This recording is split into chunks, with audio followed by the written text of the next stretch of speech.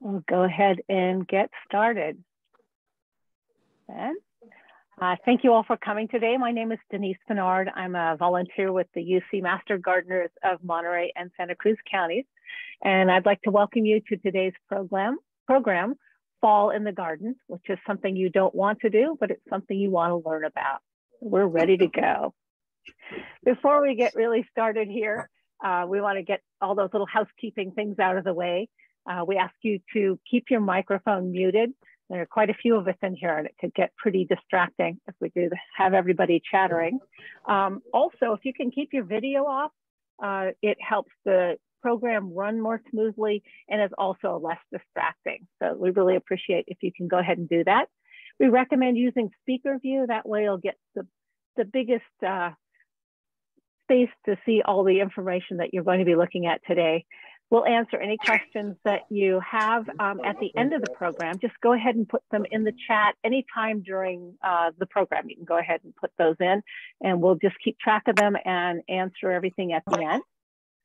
If you have any technical questions, go ahead and uh, just message me, Denise Pinard, and I will uh, see if I can't get you working and get things on track for you.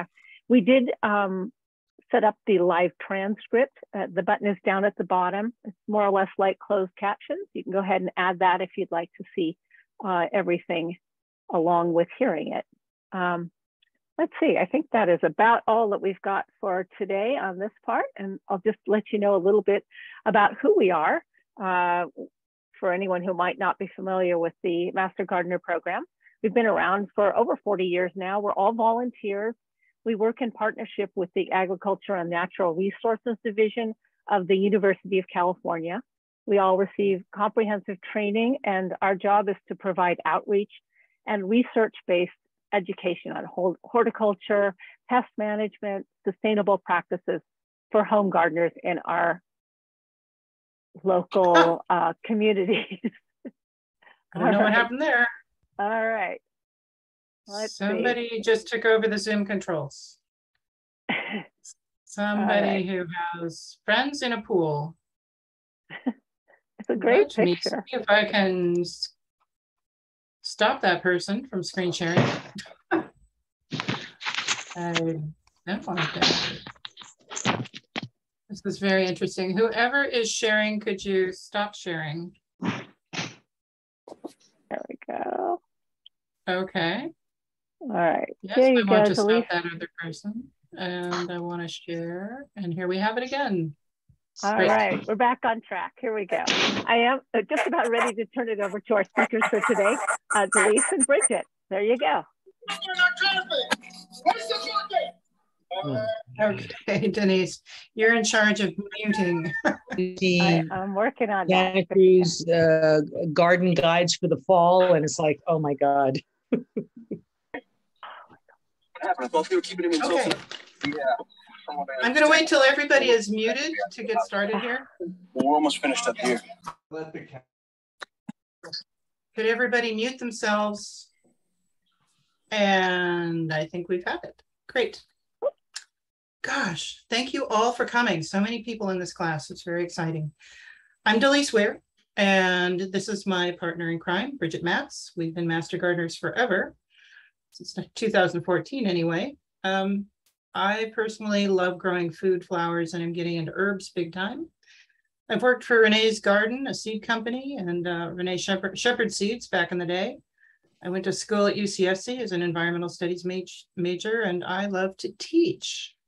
Bridget? You with us, Bridget? Bridget, uh, you're muted. I'll ask I, you to unmute. I'm so sorry. I don't know why mine's going back and forth between being muted and unmuted without me touching it. Um, okay. Anyway, um, hello everybody and welcome. Thank you for joining us this evening to learn a little bit about fall gardening. Um, I have a lot of experience growing a variety of vegetables, flowers, and culinary herbs. I'm also a master composter in Santa Clara County. I'm a former UCSC farm and garden apprentice. So was also a second year um, working for Orin Martin in the Up Garden. And I also love to teach and I'm very much looking forward to our evening together tonight. Okay. So today we're going to go over ways that fall gardening is different than spring gardening. It's really kind of a class for beginners or for people who have gardened mostly in the spring and summer and they want to know how it's different in the fall and, and want to keep going. Our format tonight is a little bit different than our usual. We tend to do a deep dive with lots of detail in a, in a single topic. Today, we are going to go over high level information on many, many different topics. We're going to provide you with a bunch of resources. They're in the presentation, um, lots of links. You should have the presentation in your email if you signed up for this class. And if you don't, we're going to send it afterwards with all the speaker notes in it. So you should have all the information you need to teach yourself many things. And we'll point to you to classes that are happening soon that you can take advantage of and get more detail. We'll leave plenty of time for QA at the end.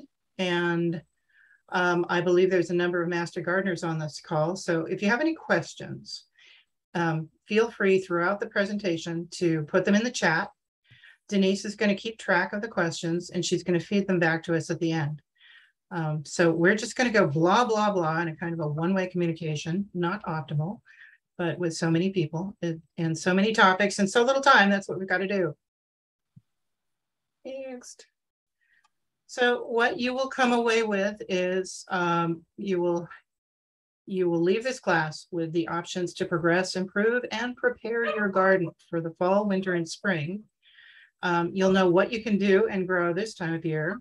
You'll get the timing right. Now, the timing is critically important because in fall, it's so much less forgiving than the spring. In spring, you can put something in the ground. It might be too early. It'll probably limp along and then it'll get warm and bam, it'll be successful. And with fall gardening, it's the exact opposite. So we'll um, we'll take it from there. All right, we are planting with the seasons. Some of this will be very basic for some of you and um, and maybe not for all of you. So what happens in the fall, and everybody knows this intuitively, but it's it's good to really watch it and and make note of the angles of the sun. So the sun obviously uh, goes into its winter orientation. It's uh, coming in through more layers of atmosphere, so it's it's weaker sun. Uh, it's casting longer shadows. It's maybe not shining on the same garden beds or places that it did in the summer. So you can have a completely different garden situation in the summer as you do in the winter. So what I like to do is go out in the um, during the solstice and the equinoxes and um, I do a little map and I kind of track full sun, partial sun, partial shade, full shade. And I just do a little indicator at each time of year what is going on in my garden and where it's happening. That is a good thing to do and I recommend it. And of course, the other thing that happens is it gets colder and in a perfect world, it gets a little wetter, it gets windier, and what's happening is all the plants are mo moving towards a dormant phase. So they're kind of going to sleep. And we're going to take advantage of that in some of the activities that we are talking about today. A friend of mine once said, soil grows in the winter, plants grow in the summer. The soil does a lot of work renewing itself during the cold winter months, and we can take advantage of that. Let's talk about how. All right, we talked about the things we can't do in the fall. What can we do?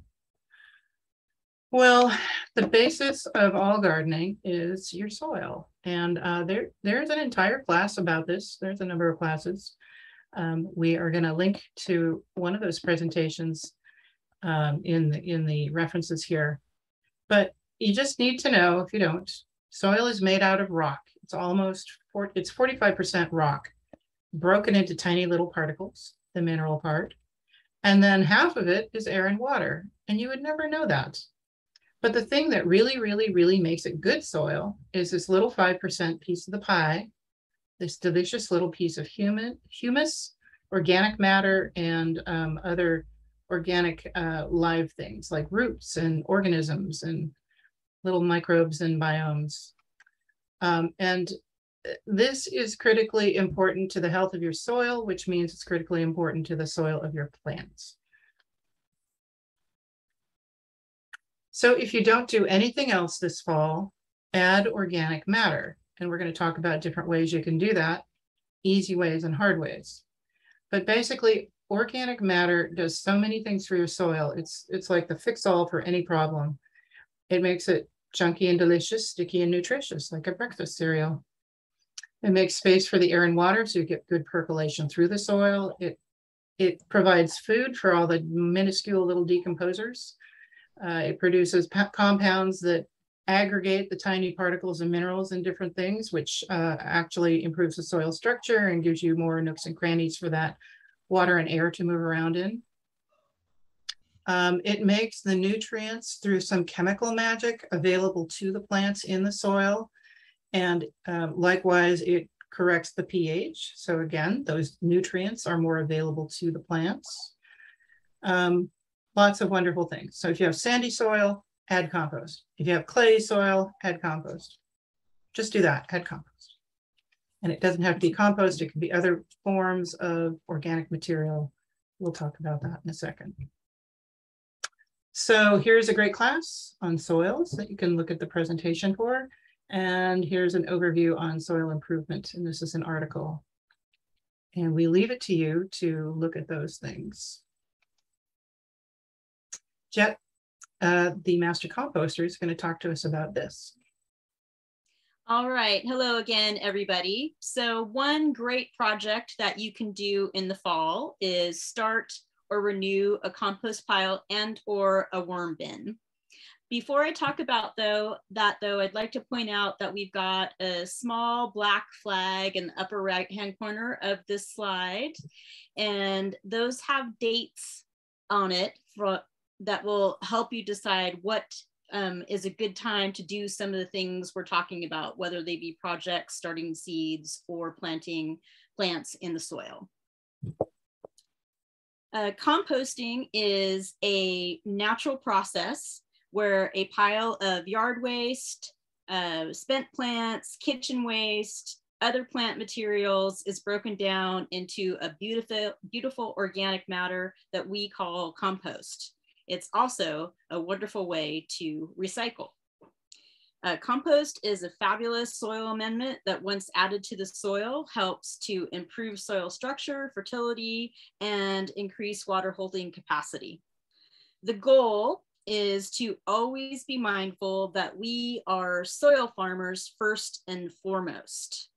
Because if we grow healthy soil, then the soil will grow healthy plants and basically take care of themselves. Okay, almost, but it does a lot of work for you. um, when we're talking about layering a compost pile, um, things that we want to keep in mind is that compost is made up of things that we call browns and greens. Browns are carbon rich materials, and you want to keep in your mind um, things that are woody. And examples of that would be dry leaves, branches, sawdust, straw, wood chips. Uh, greens are nitrogen rich, and you want to keep in your mind things that might be lush. For example, food scraps, uh, green plant material, fresh grass clippings, manures. A basic compost pile construction um, is very simple. And it's a good rule of thumb to layer your materials in a two thirds brown to one thirds green ratio. You simply claim a spot um, in your garden, start with a base layer of straw or twigs, and then you start alternating between browns and greens at a two thirds to one third ratio. And after a few months, you'll have a nice compost to add to your soil before your spring plant planting. It's important not to overthink this or get too stressed out because as my former boss used to say, compost happens. Worm bins are a great alternative for people that might not have space to do a compost pile. And if you're like me, um, you might just prefer it regardless. It also is a very simple setup. It just requires you picking up a bin or um, making your own bin, maybe out of something you have laying around in the shed or the garage um, that you can drill your own air holes into. Add some damp shredded newspaper and add some worms. And after a few weeks, you can um, start adding your kitchen scraps and you will be off and running composting. Um, these are some compost resources that we have for you that dive deeper into the things that I was just glossing over for you. And I can I point out that in Santa Cruz they have these free compost uh, classes done by the the recycling folks. Um, they will give you a free worm bin and and or a free uh, compost bin if you take those classes. It's pretty fun. I did that. All right, we're going to move into some low effort um, soil building. A couple examples of that is straw bale gardening and or lasagna garden. Sheet mulching. Um, some people refer to it as um, lasagna, making lasagna out of your garden beds. Um, sheet mulching is a great way to re um, mediate your soil, suppress weeds, and hopefully if you haven't already, start getting rid of your lawns. Um, you can work around your existing plants and trees and also um, you can punch through your sheet mulch and plant directly into it. There are many, many, many different ways to sheet mulch and many different recipes to choose from. The most important ingredient is to choose things that you have on hand and or are fairly easy for you to collect. Before you begin, you'll need an ample amount of what you'll be working with stockpiled because you'll need a lot of material. One great example of a good sheet mulching recipe, I think, is um, to start off with a very thick layer of cardboard. I picked mine up from the plethora of bike shops that we have in Santa Cruz. They are happy to load your car with it and have you drive off away with their recycling. Um, one special note is when you do layer your cardboard is you want to make sure that you're layering it by a good 8 to 12 inches. If you leave any cracks, then that's a avenue for your weeds to come right back up or your, your lawn to get a, a shot at starting again. Um, if you're working on a hillside, a good little tip is to use some landscape staples so you're not sliding around on the hill while you're trying to do your project. Um, after you've got a really good layer of cardboard down, um, you will um, layer it with whatever you choose. Uh, I have access to horse manure, so I go with horse manure and or spent co compost. Then um, I'll top that with a hefty layer of straw, and then I like to layer some wood chips on top of that. And once again, that's just a recipe that I prefer, cardboard, manure, straw, wood chips. But like I said, there's many ways to do it. And there's a lot of folks that just do a layer of cardboard and top it with several inches of mulch. I, I wanted to point out that we're going to be having a class in November. It's going to be a wildflower garden planting and, and uh, seed sowing class. And we're going to demonstrate a lasagna garden. So look for that. That'll be fun. Okay. Here are your resources, just so you know. And I'm going the wrong direction. That's what's happening. No, no, we're not going the wrong direction. This is me. I'm talking about this. Okay. All right. Some of us are lazy. I happen to be a very lazy gardener. And the easiest way for me to improve soil is slowly over time. Um, and I've been known to do this with straw bales. Now, if you haven't heard of straw bale gardening, which most people have, in a nutshell, you haul one or more straw bales into a sunny spot in a yard. To put it on soil, don't put it on the driveway, um, unless you don't have any other sun, sunny spot. But for me, half the battle is it helps improve the soil underneath the bale over the years that it's decomposing. So uh, you water it for a couple of weeks. It gets kind of a little softer, it starts to heat up and decompose inside. You add some fertilizer. I use blood meal to start the bale really decomposing. And then it gets soft enough that you can dig a hole, put a little potting soil in there and plant directly into the bale. So basically within six or eight weeks, you have a place that you can plant plants. They grow like crazy. You have to keep them fertilized. And then after a year and a half, this whole straw bale just kind of decomposes into a into a pile of mush that turns into beautiful organic matter that can be dug into the soil that's already full of worms and biotic life. And you get a fertile, rich garden bed. And I've been known to just put some rocks around it and call it a raised bed. November, using this senescence or, you know, a sleepy time in the garden, November is the best time to do this because it's going to be raining and it's going to start that decomposition process up front um, without wasting any water and you don't have to condition the bales quite as much. You can technically start them any time of year, but for water saving, November is a good time to start them. And as you can see on the left here, you can also square them up like little Legos and make raised bed borders out of the bales. Um, that work, works really well. And um, Bridget came to my house this afternoon and uh, pointed out that I have some really ugly decomposing straw bales in my front yard. We're getting ready to do a, a revamp of those beds, but uh, they are not for everyone, and you may not want them in your front yard because they do get hideously ugly. Here's the preferred resource on that. I think it's a video. Um, no, here's the video and this is the handout. So that's really going to tell you everything you know. And there's many more resources online for straw bale gardening. However, the very best thing you can do for your soil is to plant a winter cover crop. And I usually do that around Thanksgiving. This is a crop that is not something you necessarily eat. It is something that you just grow to cover the soil, enrich the soil, make the little biotic life in the soil happy. And um, it adds organic matter if you turn it into the soil in the spring. So if you plant the right beans or peas, they will create nitrogen nodules on the roots, making the soil more fertile in the spring. And the green part on top protects the surface from compaction when it rains really hard or from erosion. Cover crops make sense in a bed that doesn't have any other annuals growing it or any perennials, or you can plant them around perennials, but it kind of needs to be disturbed and, and dug up um, later. So um, don't want to disturb anything. But it's also a, gr a great way to get a brand new bed started. And I actually want to open one of these links. So here's um, some information on choosing the right cover crop for you.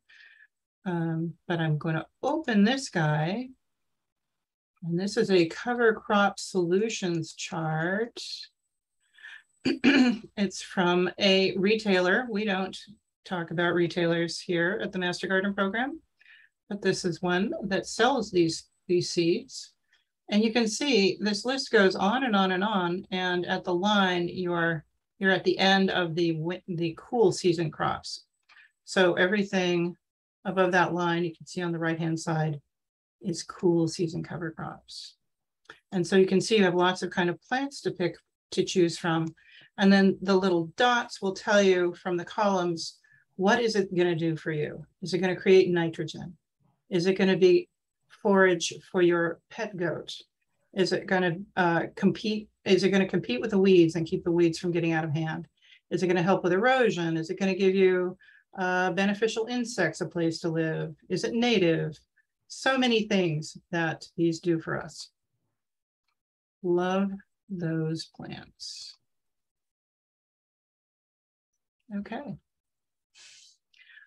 Another thing that people do in the fall, and this happens different times of year, is is saving seeds. So these are plants that over over summers and now it's fall and they're getting all kind of dry and you haven't yanked them out yet. If you have never done this before, it's it's a fun thing to do. It's an empowering thing to do. So um, it's also a complete class and very complicated topic on its own. You can't do it with just about anything. You have to be cognizant that it is not a hybrid. A hybrid is a combination of two different parent plants that combine to make a hybrid that is a combination of two sets of, um, of uh, genes that result in something we like. So when you save seed from a hybrid, it's going to revert to one or the other of the parents. And you're not going to get the same plant over again. Um, ideally, you don't want biennial. That gets complicated. That's a plant that uh, flowers after two years. Carrot's an example of a biennial. And there's something about being at our latitude that doesn't make biennial seed saving. It doesn't save a very vigorous plant. Sometimes it works, sometimes it doesn't. And ideally, uh, it's self-pollinated. you want it self-pollinated so that um, you don't have a situation where plants that cross for example, cucurbits or plants in the squash family, you can have a zucchini over here and a pumpkin over there, and a bee can make the journey and pollinate one with the other. And if you save seed from either the zucchini or the pumpkin, you may get a situation where if you plant that seed and try and grow it out, you get a really weird zoo pumpkin that isn't good for very much. So you want to avoid that. You have to know how it's pollinated, have to know if it's a hybrid or not. Um, and so that's complicated. But for um, those of us who want the easy way, peas and beans are always a good place to start. They're self-pollinated and who doesn't have some beans that they didn't pick and they're kind of drying on the vine. Lettuce goes to flower. It's a, that's another good one that you can um, you can definitely save those if they're not hybrid.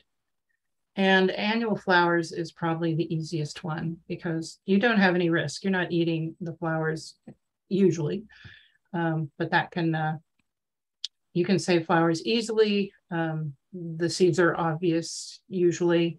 Uh, you just shake them off and dry them. And then tomatoes and peppers are a little more advanced because they have a wet fruit that you have to extract the seeds from. And that's a, that's a whole process. But if you want to learn more about that, you go to one of these um, resources. And the heart is next to the seedsavers.org website. And they have great information and they also have great uh, non-hybrid seeds to choose from. So there's where you learn more. Bridget is going to talk flowers. All right. So we are going to talk about some flowers that you could and bulbs that you could consider planting in the fall season. Um, some examples of things that you can plant this time of year in a few categories from easy to grow to slightly more challenging are cool season flowers, wildflowers and poppies, native meadow flowers, and fall planted bulbs. This slide um, is depicting some bulbs and corms that you could choose to plant in the fall. And there's some nice examples in that list for you. Bulbs are showy and easy to grow. It's nice to look for South African bulbs such as Crocosmia, Ixia, Spark. Sparaxis. Thank you, Delise. And Watsonia for drought resistant bulbs that come back year after year. Everyone's European favorite, of course, are tulips, but they're a bit more fussy. Uh, they need to be pre-chilled for at least four to six weeks before planting. And they seldom come back the following year unless they are lifted out of the soil and chilled again. They're also a bit spendy on the budget. Daffodils are bulletproof and gopher resistant and a good choice for beginners. And this slide is our fall planted bulb resources. And that once again, you can go through after the presentation and take a deeper dive and find out some more detailed information. And in this slide, um, we've got some ideas for you of cool season annual flowers to transplant. These are plants um, that are a bit too late to start from seed, but you're typically going to find them in garden centers as seedlings.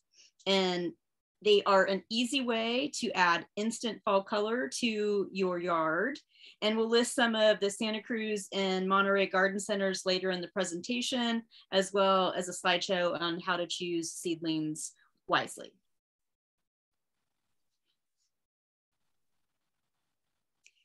And in this slide, um, we've got some ideas for you on cool season annual flowers to direct sow. These flowers are sown from seed in the fall for flowering in early spring. Many people see poppies or sweet peas blooming in March and April and then try to plant them. If these plants are already blooming, it's good to know that it's probably too late to start them from seed. Uh, note, flower seed is often very, very tiny and plants are slow to germinate and vulnerable during their emergence phase. For best success with tiny seed, make sure you've cleared the weeds and prepared the soil very well. It's a nice idea to mix the seeds with some dry, clean sand to sow them and keep them evenly moist for the first three to four weeks and try to protect them as best you can from slugs, snails, and if we get it, hopefully we do, pounding rain. Um, it helps to hold some seed back just in case you might need to reseed in January or February after seeds emerge. Um, and you see what is coming up for you, then you might need to also do some thinning to prevent overcrowding. In this slide, we're going to give a shout out to some native annuals and wildflowers that you might consider planting.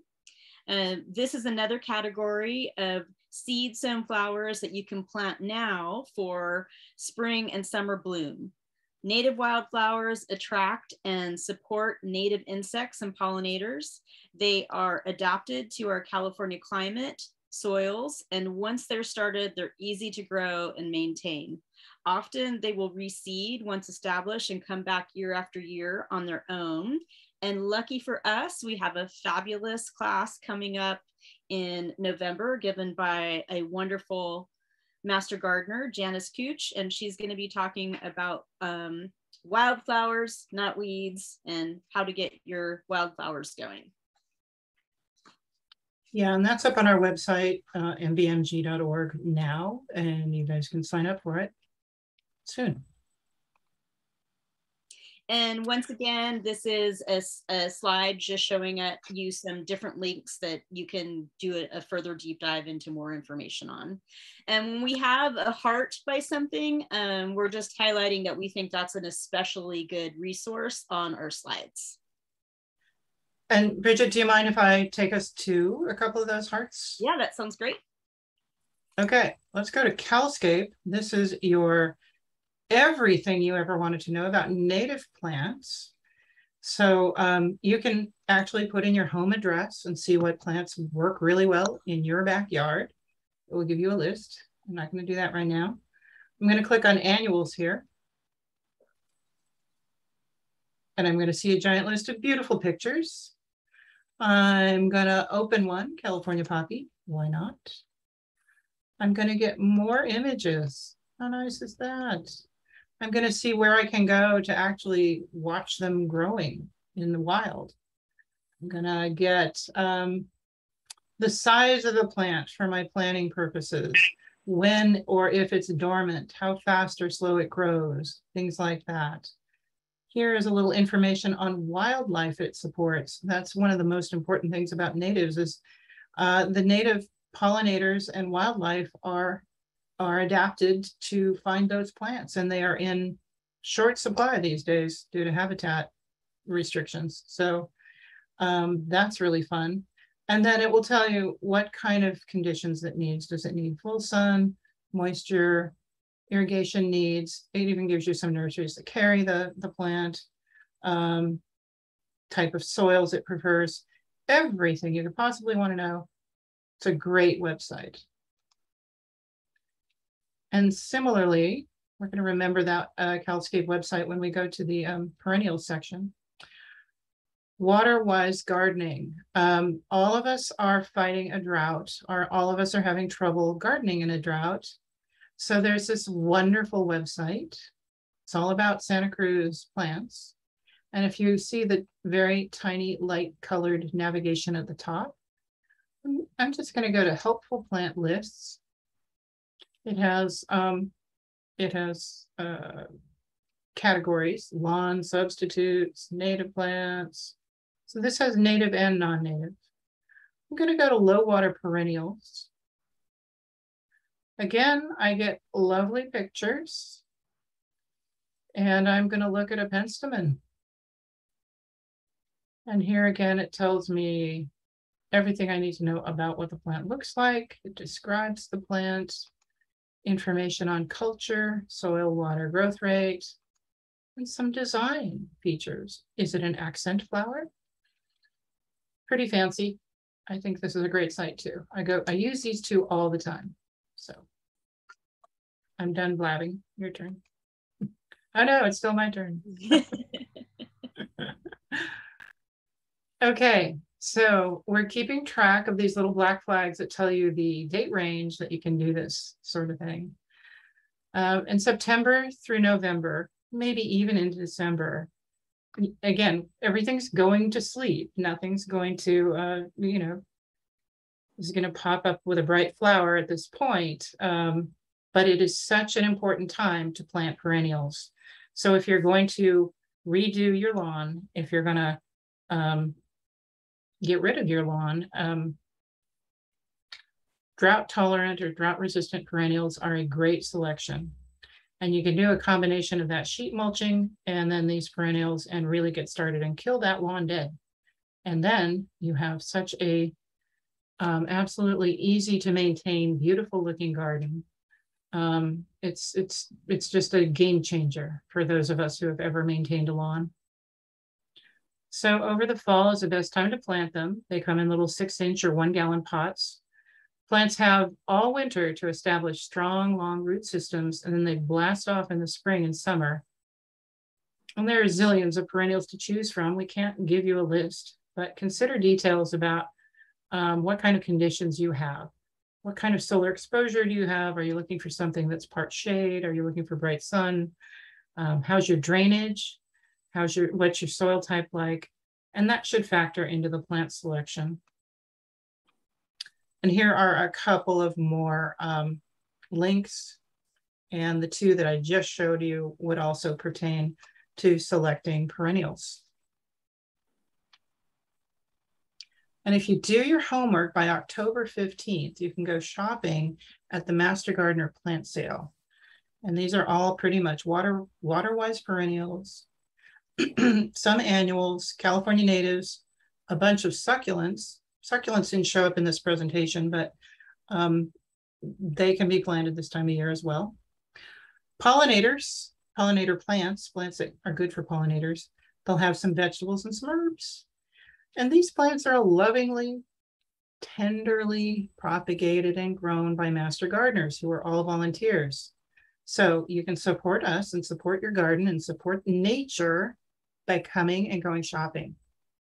It's going to be an online sale and you can pick up your plants either in Salinas or we're going to have a Santa Cruz pickup area as well this year. So expanding our, our salvias and succulent and native bulb options um, this is a good option for you guys. More homework.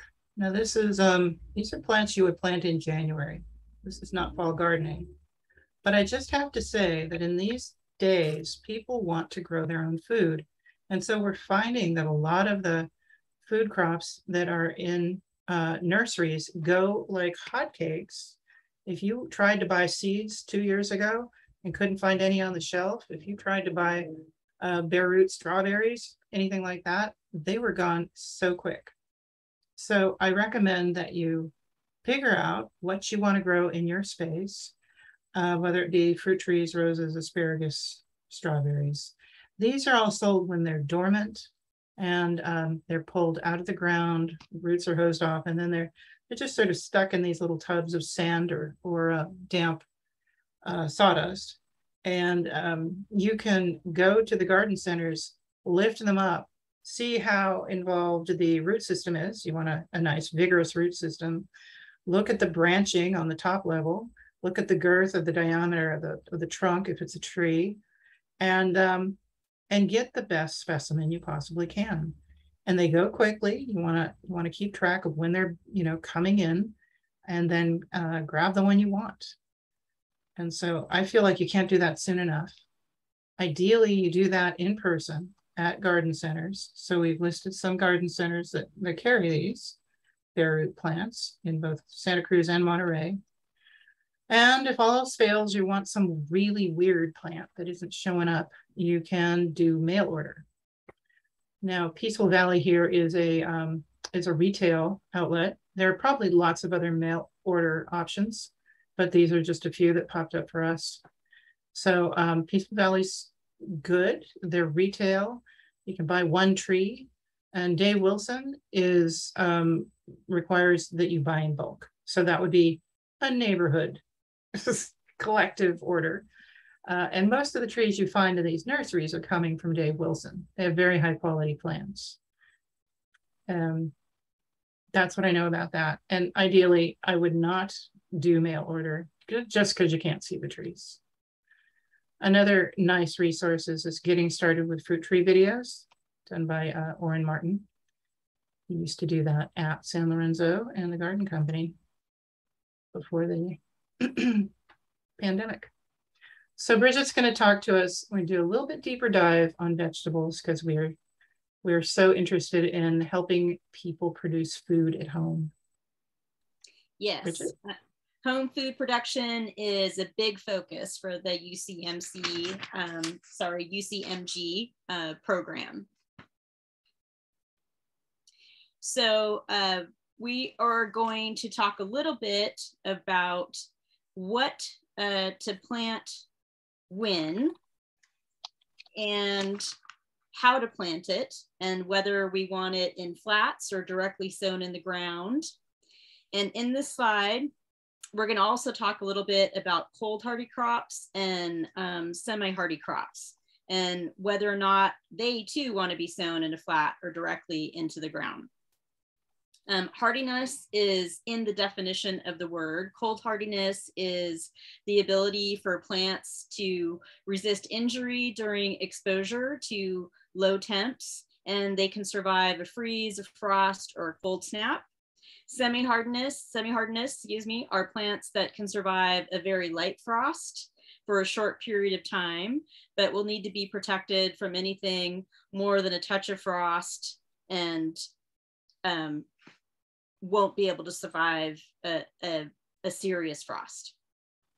In the slide, we have some examples of some crops that enjoy being sown in flats. Um, under cold hardy, there's some examples like broccoli, collards, kohlrabi.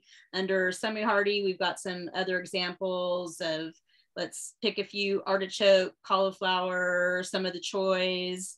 Um, one little note about sowing uh, seeds for some of these crops, like broccoli, it's a little bit too late to get um, seeds started. Um, if you want to get them planted in time, which for us in our area is about October 15th, really the beginning of September is a better time to get those seeds started. So we just want to point that out. And I'm sorry, if we can go back to that other slide, Delise. Sorry. And then we also have a category of um, something that can be either sown in a flat or direct seeded. And just to pick out a few, we've got kale, you know, onions and leeks under cold hardy and in semi hardy, we've got lettuce and chard. And then we've got some crops that definitely uh, need to be direct seeded. And some examples of those things are peas, and turnips, rutabagas, in the cold hardy crops, and in semi hardy crops, um, some examples are beets, carrots, Swiss chards. All right, what to plant when? Um, one of the biggest considerations that we need to keep in mind is what plants can be transplanted, direct seeded, and then thinned.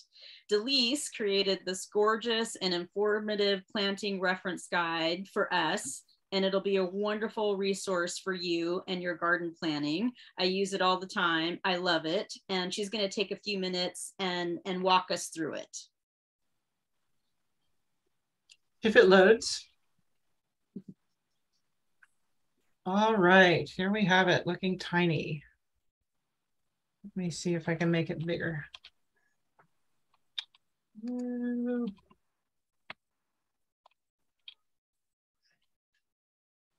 Sorry, guys, I'm just trying to bump up the font here. Okay. Is this better, guys? Yes.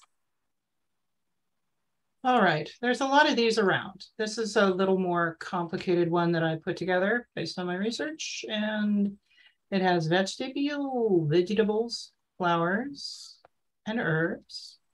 It tells you whether, whether to sow it in the ground or indoors. It tells you how long to expect uh, to take for germination to happen. Now, it's really important to know that because when you sow seeds, sometimes you just give up the ghost way too early. It takes 20 days to get carrots up. And who's so many times I thought they weren't done. they weren't there, they didn't germ. And then they come up. Approximate days to harvest or maturity. This is always approximate. It's never correct. And then here are the date ranges when it's good to plant those seeds for the fall timeframe. So we've got um, that. We have a little bit on where to get seeds. We have a the cool season crop grid you just saw, and that's it. Um, I use this often, and I offer it to you it's a wonderful resource. Um, it's a great gift. So I, I recommend that you take advantage of it. Um, in this slide, we're going to talk a little bit about planting and purchasing tips. Um, this is a good thing to keep in the back of your mind that you might want to get most of your veggies in the ground by October 15th. Of course, um, garden rules are made to be broken and it's going to vary from year to year according to what type of, you know, fall, beginning winter we're having, how much rain we've had, um, all types of variables go into when you decide that you're going to get your plants in the ground. But October 15th is a really good thing to keep in your mind and a good thing to work around. And at the most, you'd probably be doing it a week before October 15th or a week after. One good thing that we like to point out is we highly recommend that you do not buy root crops um, with a tap root, something like a carrot or a beet in a six pack.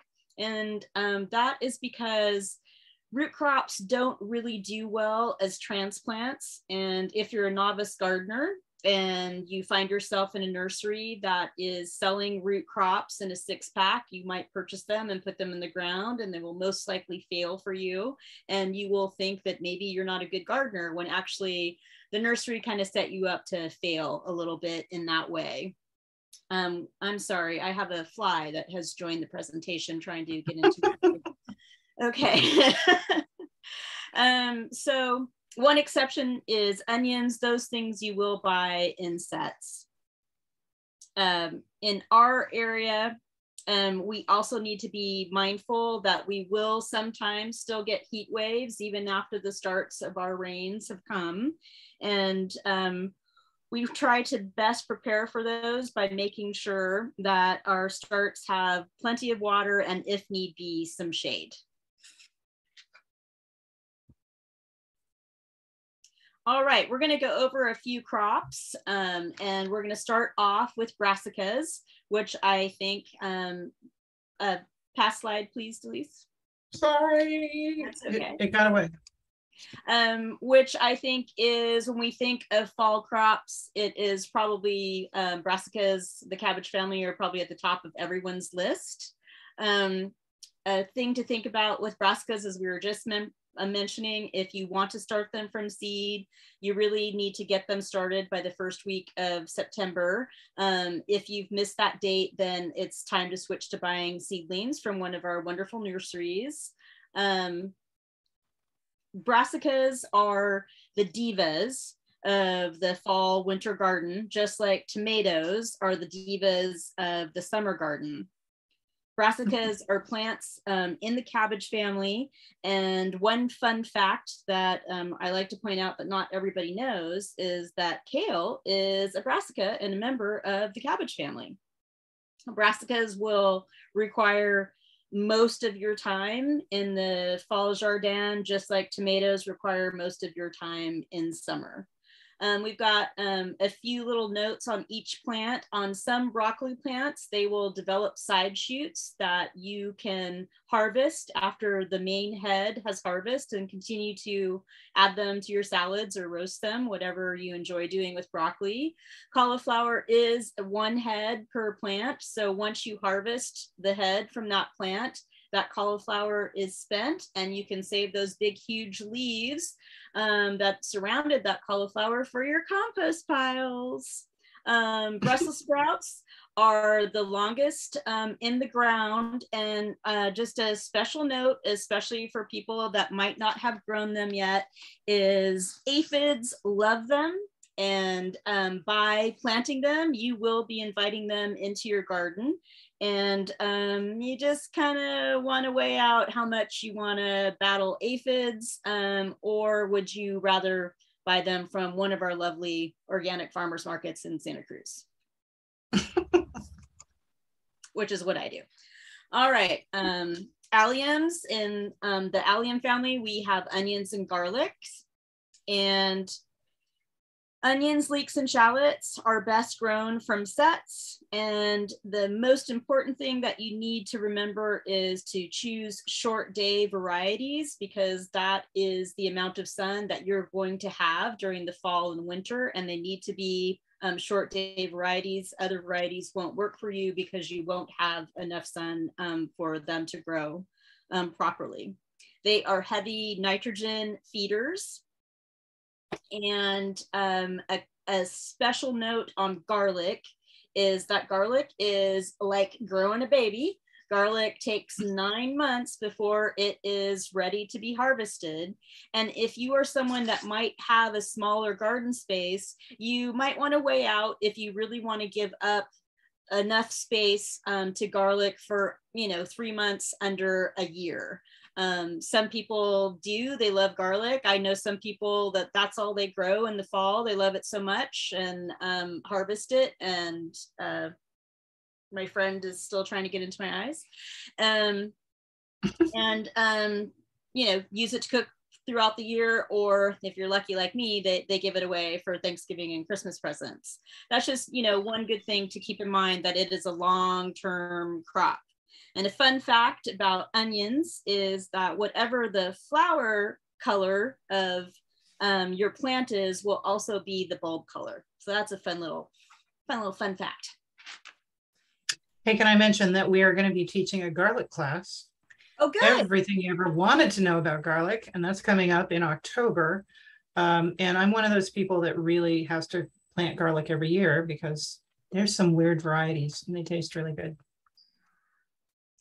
All right. Um, leafy greens are things like lettuce, spinach, arugula, um, and other various greens. And we've just highlighted some things that we want you to keep in mind. Um, they're very frost sensitive.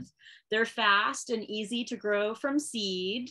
Um, one tip is that lettuce seed um, goes dormant above 75 degrees. So um, you need to plant indoors if for some reason you are doing seeding and during hot temperatures.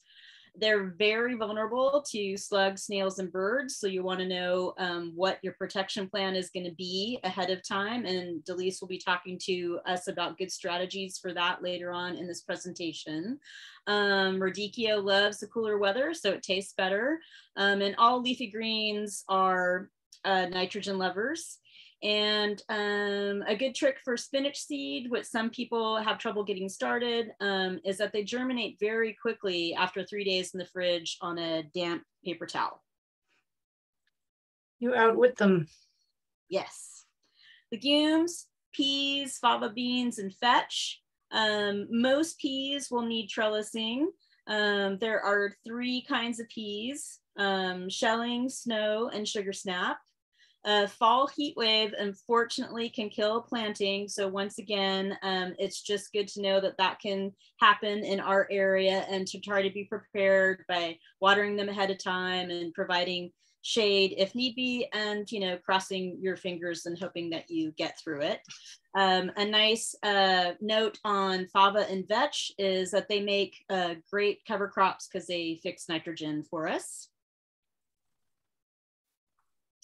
Root crops. Um, include things like carrots, beets, rutabagas, turnips.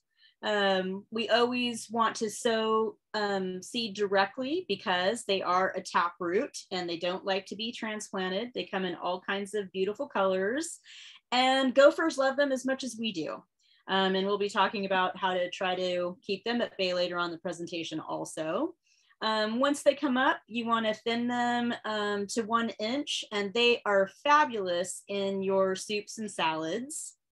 Um, a great planting tip is to mix your carrot seed um, with a little bit of sand because that'll help you get an even distribution. And also to cover the seeds um, with some newspaper to keep it moist um, while they are trying to germinate. Great. So there are a lot of vegetables you can still plant. Yes. All right. Um, we have developed several two-hour classes on integrated pest management, and you are going to get a little bit of fall gardening IPM in about five minutes. And we are, I have actually one minute to go before the hour is up. So I'll talk really fast. so we'll follow up on the resources provided. Today, we're just going to talk about a couple of pests that you're probably going to run into this fall or winter. The good news is the flying insects that prefer heat are gone or will be gone soon, and you're left with the creepy crawlies and the burrowing mammals to deal with. And they are snails, slugs, earwigs, and gophers. There's a lot more, but you know, that's that's the primary um, multi-celled organisms we have to worry about. So master gardeners recommend integrated pest management as an approach, and we strive to prevent, not control, um, pests. So like keep nip them in the bud before they get started, and then know the pest that you're trying to control if you get to the point of having to control it, and find the most effective methods. And that means you need to know about the pest and the host that it's on, and the environment that it's in, and use minimally damaging control methods uh, if it does come to that. So control methods fall into four categories, cultural, exclusion, mechanical, and chemical. Let's talk about how that applies to us. To explain what those are, um, cultural, what does that mean? Well, that kind of equates to modifying the environment to reduce the habitat for the pests. So for you, that means you clean up the wood pile that's in the corner or the pile of weeds that's harboring a whole city full of snails and slugs and earwigs. Or you clean your pruning shears in between cuts when you're pruning fruit trees so you don't transfer um, uh, a disease organism.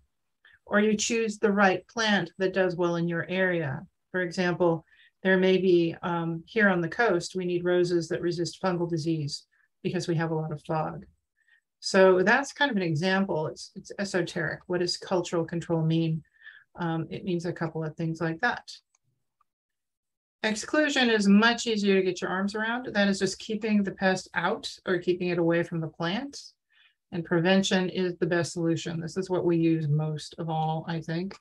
And we do it with netting in the summer row covers, which can double as little frost guards. Um, that's that see-through material that you can, um, it gets light and wa water and air can get in, but the insects and slugs and snails and birds and different things cannot get in. Um, other kinds of barriers, fencing, if you have a deer problem, underwiring is the thing that people tend to use for gophers. We're gonna um, spend a few slides on gophers. So that's a thing. And then what we call mechanical controls. And um, one of those obvious ones for snails is you pick them off with your fingertips. You do it, you do it at about 10 o'clock at night with a flashlight and you go stalking on patrol and uh, pick them off. And if you do that mm, three days in a row, you will probably knock out a whole generation of snails.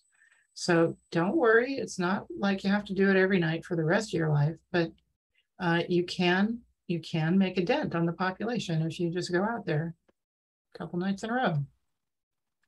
Washing is another thing with if you if you get an aphid infestation, you hit them hard with a spray of water. That's a mechanical control. Um, trapping your um, vertebrate pests, that would be gophers and uh, mice and rats and things like that. And then weeding is another form of um, mechanical control of pests, weed pests that are in your garden. So that's what those types of controls mean. And then I just wanted to take you through a few of the pests that you're going to run into. We talked about slugs and snails, earwigs. They live in the in the borders of a wooden bed and they come out at night and they chomp up everything. And it's sometimes hard to know whether you've got an earwig or a snail or a slug eating your eating your plant. So that's another good reason to go out at night with a flashlight. And um, what I've given you here in this presentation is a link to the wonderful UC IPM website, which has everything you want to know about identification, their life cycle, what kind of damage they do so you can tell what it is, and then how to manage them, starting with the least offensive one, trapping, sanitation, we talked about cleaning up the wood, uh, chemical controls is your last resort. In this case, they are recommending an organic, a certified organic approved uh, control called spinosad, which is a disease that the earwigs get and nobody else gets. So that's um, a better way to do chemical control. Um, the cabbage worm, that's that beautiful white butterfly that you see flitting around. It happens in the warmer part of a of an Indian summer time frame. We're about to lose them, but we could have another heat spell. So uh, they will come and lay eggs on the underside of your cabbage family plants in particular, and um, can just turn them into lacework. So that's a thing to look out for. And then sow bugs, pill bugs, whatever you want to call those guys, they don't really eat plants. They eat decaying vegetation. So they kind of get the the rap for other things that, that chew on plants, and then they're eating the the edges that are decaying. Here are our burrowing mammal friends, small, medium, and large. We have gophers is going to be the biggest issue anybody um, on this call is probably going to have. Moles, just to say, they don't eat plants. They eat grubs and and under underground uh, invertebrate creatures, and they don't eat plants. They may make your lawn look like heck and uh, they might knock your tulip bulbs out of the way, but um, they have a big territory. They defend that territory. It's one mole per territory space. And the same with gophers. They are territorial and they have a about a football field territory. So once you get the get the vertebrate, you're probably good for a little while until somebody else comes and inhabits their their run.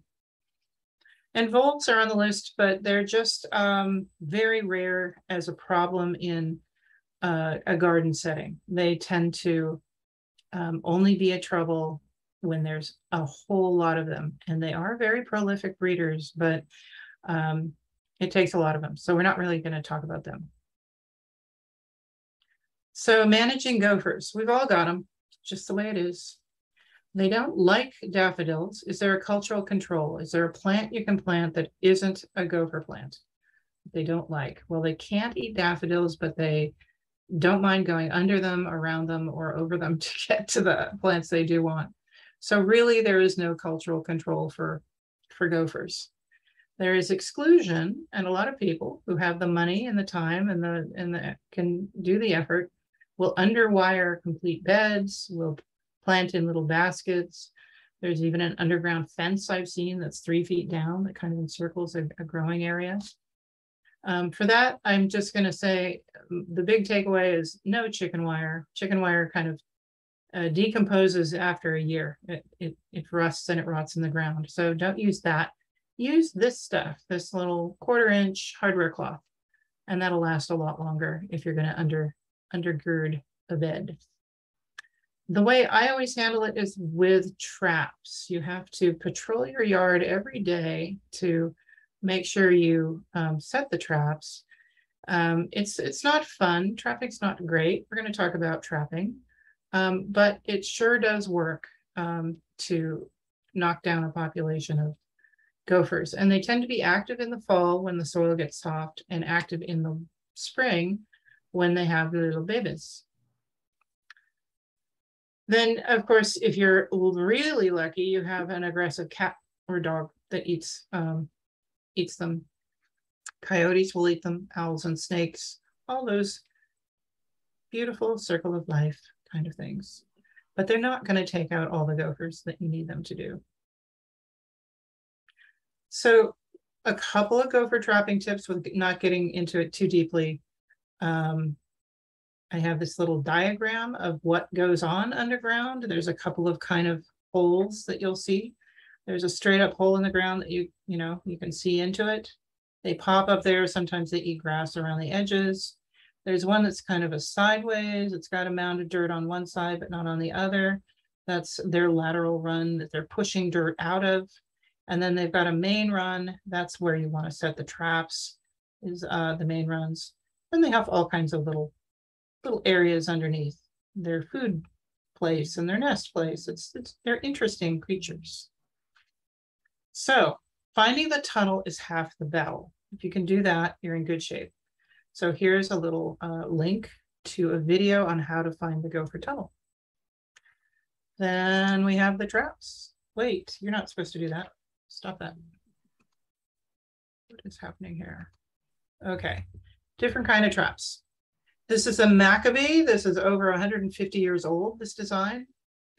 Um, it is dangerous to use for me because I, because you, you can poke yourself very easily. Uh, it's really gnarly to extract the dead gopher from it because they're impaled. I do not use these, but they're tried and true for some. This is called a cinch trap. A lot of people have good success with that. You kind of put it in the pop hole or the lateral run and all this uh, metal plate stuff stays on the outside. I have dogs. I can't have the metal plate sticking out. They might get whacked in the nose. Um, I know they like to investigate the gopher holes, so I don't use that one, but lots of people do. Uh, box traps, they work really well, but you have to dig down and put them in the run and they it requires a lot of big digging. It's very disturbing and you can disturb your plants and it becomes a pain. Oh, not again. I don't know what's happening here. Okay. This is my favorite. It's called a gophinator and um, it's small. It's a little tricky to set. I've given you a video on how to set it. You can find them online or I've gotten them in San Lorenzo Lumber and there's other places I'm sure you can get them. Uh, but this is my preferred uh, application of death to uh, gophers. It's good to record this. If you ever just uh, Google IPM, this site should come up. It's UC ANR's integrated pest management site, and it is a great resource. And just because um, it looks like this when you get there, um, it's a lot of words. So I want to walk you through how to how to how to use it. So if you have a plant, it's being damaged, you don't know what's damaging it, you can look it up by plant and see what kind of pests uh, bother that plant. Or if you think you know what the pest is, you can browse by pest and find out what to do about the pest. Or they have a very clever diagnostic tool, which is um, kind of a little uh, decision tree that can take you to solutions also. So this is one of those wonderful websites that you want to retain. Or you can just mimic nature, right, Bridget? Yeah, so one thing that we also like to point out that um, fall is also a good time to take a break. Um, you know, as opposed to the tagline from the movie Glengarry Glen you know what I'm saying? Um, play originally actually um, always be closing you don't always have to be growing um, so there is nothing wrong with taking fall off um, you know throwing some cover crop into your garden beds putting away the garden tools and just taking a break for the season and thinking about getting back um, into the swing again come January, February when you start want to start planning for spring. If you do want to do some things over the fall, but um, maybe not necessarily grow veg, um, it's also a really good time to do anything that you might need to do structurally. Maybe one of your garden beds needs to be repaired. Maybe um, you've decided to install garden beds. Um, maybe you've put some money aside so that you can put in a drip system. Um, it's a great time to take seed inventory before you buy seeds. Remind yourself exactly what you have. And it's also a great time to take really good care of your tools. Give them a nice clean and the ones that it's appropriate for, sharpen them up. Um, and it's also a really good time to just um, brew yourself a cup of yummy tea or whatever beverage you like and start perusing really high quality seed magazines um, catalogs. Um, one of my favorites is Johnny's because there is a lot to be learned from a really good seed catalog. And maybe you'll get some ideas of a crop that you want to play with come spring that you um, haven't um, tested out yet. And it's a good time to learn about that crop ahead of time and be prepared in the spring to grow it. My darling, we are running so late. Let's take some questions.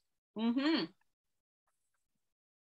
I'm not seeing a lot of questions, but I think they're in the chat. I know, but There I'm not re- seeing them. There really weren't very many questions in the chat that haven't already been answered, at least. Oh, Um, great. Sorry. well, hopefully everyone got their uh, information, uh, you know, right as we were going along.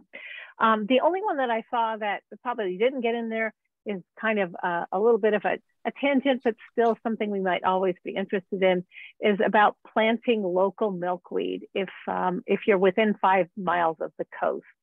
Do you have any specific information on that? Bridget, you Can want me to be do done? this? You can take it, please. So um, it's not recommended by some, but it's certainly available at every garden center. And uh, the garden centers tend to sell uh, tropical um, milkweeds. They're showier and they're prettier, uh, and they still attract the uh, the butterflies. But we want them to overwinter here and then take off. We want them to go. We want them to go wherever they're migrating to um, and do their their summer thing. And if we keep them here by planting mil- milkweed, that can defeat the purpose. So that's my understanding about that. But I would definitely uh, go down to natural bridges and confirm that assumption. But that's what I've heard. All right. Uh, so we do have one little question that just came right in uh, about the biggest obstacles to plant to growing ranunculus. Obstacles to growing ranunculus. Um, I usually with both ranunculus and anemones, they're two of my very favorite flowers and probably the only bulbs that I buy and plant every year. Uh, they're not bulbs, they're corms, I think. Not sure what they are, but they're these little nuggets and I soak them in water for a few hours and then plant them. And you never know which is the right side up with the anemone, but with the ranuncula, you know that you plant it with the little pokey sides down. Um, and you want to plant it at the correct depth, and that should be available when you plant, you know, as information when you when you buy them. Um, and then you got to protect them from gophers, definitely, because they like to chomp those. Um, and I found that they like to be fed. They like to be fed a couple of times in their lifespan. And if you keep them deadheaded and fed, you will have them all for the longest time. And they're just great cut flowers. Right. That makes me want to go out and plant some right now. Um, I, I don't see any other questions at this point. Okay, 50 people and no questions. You can ask anything. My mother's maiden name, anything. Give us something to do for 10 minutes. Come on.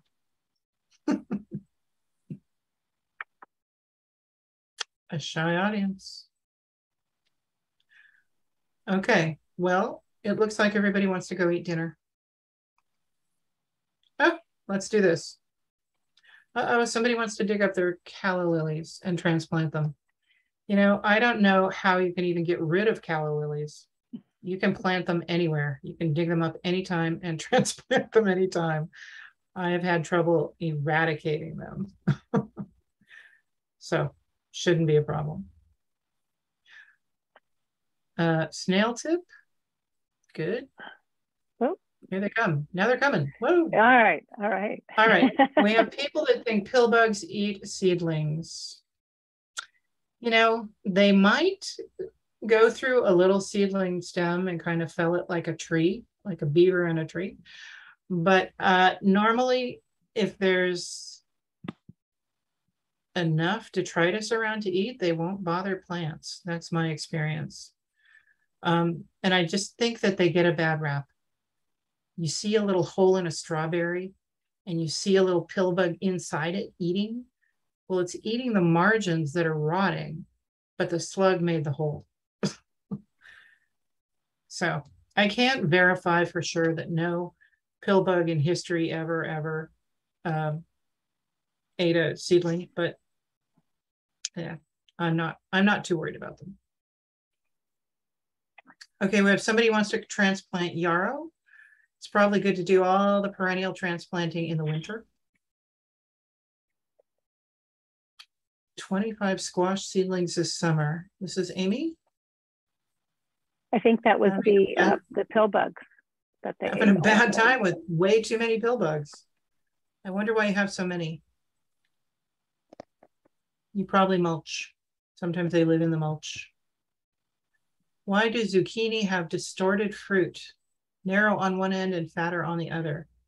That, I believe, is usually a poor pollination issue. Do you know, Bridget?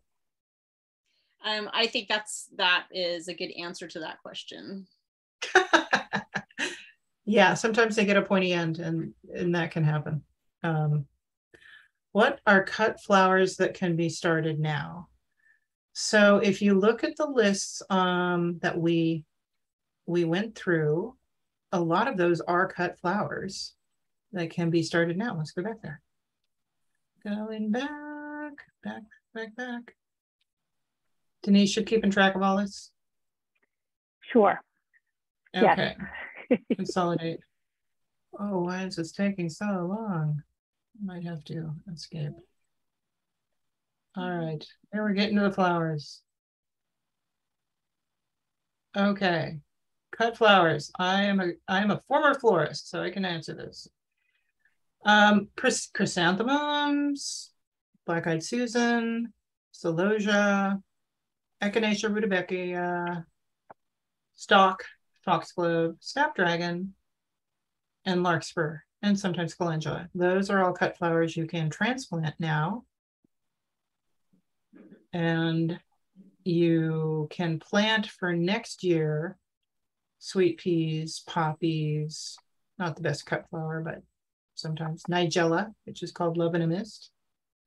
Uh, Cerinthe, this um, purple one on the far right is Cerinthe. It's a, a beautiful filler cut flower. And so is Chinese forget-me-not. So you can have those. All the bulbs are cut flowers. And some of these natives you can use as cut flowers and penstemons and salvias. Um, those will last a little while in a vase. Any flower can be a cut flower for a little while. okay, feed, feed us another one. Um, is there All a place to find straw to be used as mulch? I'm from the Midwest and don't see it here often. Um, I buy my straw from Feed and Farm Supplies locally. Um, so do I, and it's really hard to find straw free. I would love to. But um, sometimes on Craigslist you can find it. It's rare. So, and it and the price has just gone up. It used to be $9 and now it's something like 15, 17 Mhm. per bale. It's crazy, the supply chain deal. Yeah, so I'm afraid that's that's how you gotta go. It's an investment. Hey, I'm going to take a quick dive into, I will, I'm happy to answer questions as long as anybody wants to stay, but um, we have got this Master Gardener plant sale going on. Uh, we have an, an evaluation survey. It's going to come to you by email along with this presentation again. And we really encourage you to use it and answer questions about how this presentation was for you. And in fact, I think Denise is going to copy and paste that into the chat right now if you want to just get that over with. I told you about the garlic class. Uh, told you about the plant sale. Told you about, oh, I didn't tell you about, we're having a microgreens year round. It's a grow your own microgreens class. It's um, a whole bunch of sprouts and you'll go home with trays of sprouts to grow. That's kind of fun. Um, tool care, we have a class coming up in November and then wildflowers, not weeds. That's the one where we're gonna we're to plant wildflowers in a lasagna garden and learn all about wildflowers, native ones. All right, back to questions. All righty. Um, let's see. Um, Ellen would like to know how to bag fruit to protect it, uh, maybe grapes in particular, but uh, keeping them away from pests. Jet, you want this one? Um, I have um, some experience with uh, bagging fruit, and um, that was more in an agricultural sense, um, where um, we were um, using a special netting where we basically are netting the entire tree to protect it. and there's some things that you can buy that you can wrap individual fruits that won't affect their growth. Um, I um, am not um, knowledgeable. I don't have experience on what you would do in particular for grapes. Right. Yeah, I've seen other other fruit just brown paper bag and a and a string, mm -hmm. but it's a lot of effort. You got to really want the fruit. All right. Uh, let's see. Um, what about uh, taking care of dahlias in the winter? Dig them up or leave them? That is a question that I will um, say is one of those, it depends. Um, I know a lot of dahlia growers that believe in um, digging up their bulbs uh, every year and um, storing them in straw and um, replanting them next season. Um, I'll just say with a caveat that most of those folks are growing them to sell them and they've got a lot of help with that. Um, I grow dahlias, and before I planted them, I did do um, the landscape wire that we talked about earlier. And I just kind of risk it and hope that the gophers don't come for them. And for the most part, um, I get lucky with that. But it, it really depends. All right. In, in our um, counties, I think we're usually okay without digging them up if you can, if you got the space for them. Yes, we are. All right.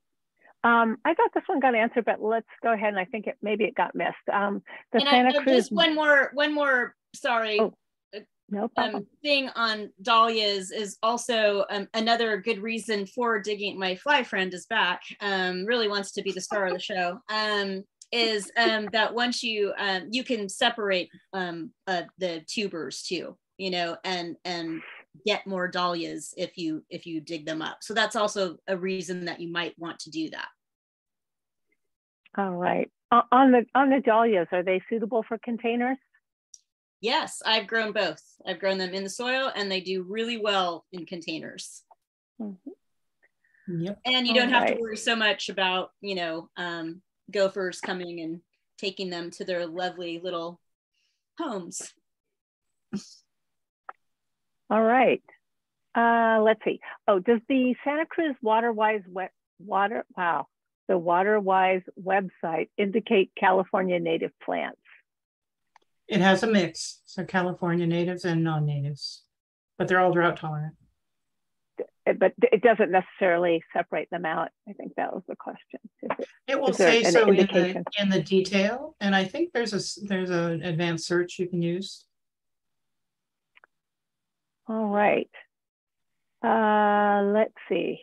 I'm sorry, I've jumped around a little bit. So, and also put questions in here more than once. Um, how to keep um, Matilija poppies from spreading all over? Yeah, good luck. They're a very successful California native. and it's very hard to keep them under control. They're hard to get going, and you know that's a good problem to have.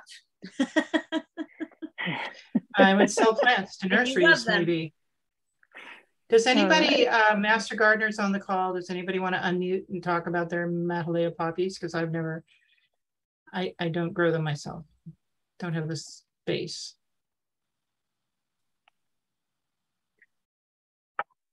No takers. Nope. I, I don't know how to do that except mechanically dig them up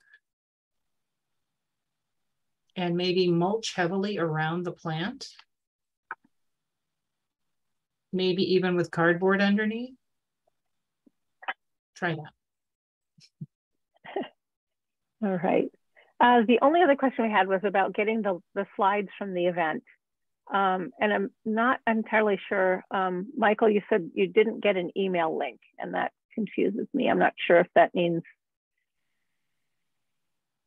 so you must have so had I, one to get when here. I sent a I sent a reminder an hour before class or 45 minutes before class, and I included a link to the presentation that you guys saw today. We are going to make a few tweaks and add a few speaker notes and send it out again. And we're going to send an email to everybody who was on the call or who registered anyway. You have to be in our registration system to get it. Um, so we will be sending it out again along with that um, evaluation link. All right. And the recording. And the recording. Embarrassing, right. but true. all right. Okay. Well, hopefully that answers all that. That's all the questions that I have come across. If there's anything else, you better write quick. Thank you for the nice words. Very sweet comments. And one more thing, don't go. We've got a hotline. So here's a link to the Master Gardener hotline. If anything's keeping you up at night that you need to talk about related to your garden, you can send the question there along with pictures if you like. And uh, one of our talented Master Gardeners will get back to you. Super terrific. Thank you, Amy. You're our best uh, salesperson. All right, everybody. Thank you so much for joining us, everybody. We will Thanks, see you everyone. at the next class or the plant sale. Thanks for coming. Thank you, Bridget and Denise. Thank you, Delise. Good night, everybody. Nighty night.